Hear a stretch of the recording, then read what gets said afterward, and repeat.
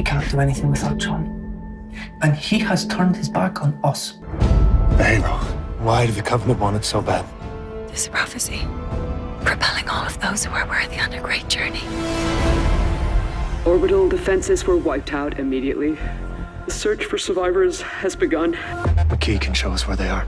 She was turned against us, but she is us, Captain.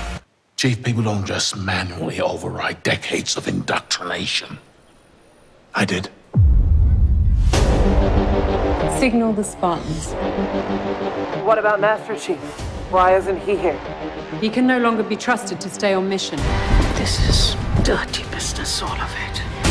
They need us, Cortana, to save them from themselves.